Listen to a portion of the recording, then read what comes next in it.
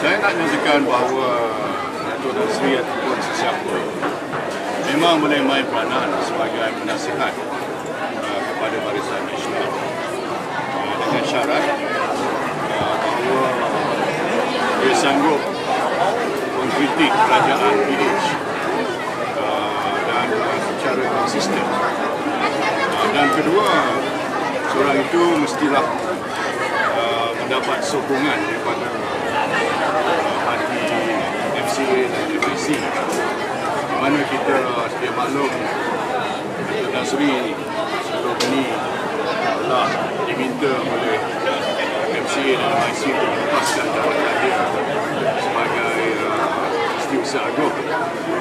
Uh, kita dalam hal ini mesti konsisten. Uh, kalau Datuk Nazri kata pelantikan saya akan menjejaskan kerjasama dengan PAS.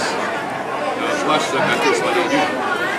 Uh, Ustaz Hadi dah kata bahawa dia tidak menjejaskan hubungan antara UMNO dan PAS.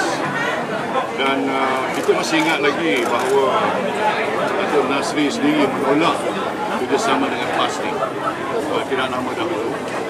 Dan uh, sebaliknya dia menggesa UMNO untuk bekerjasama dengan DAP dan uh, ketepikan MCA dan MIC. Uh, dan kalau nak sebut tentang soal uh, pilihan raya, uh, MCA hari ini maklumkan kepada saya bahawa antara sebab undi merosot adalah kerana kritikan yang keterlaluan yang dibuat oleh Datuk Nazri terhadap Robert Kwok. Uh, dan ini menyebabkan uh, ramai orang Cina tersinggung dengan apa yang telah dilakukan oleh dia.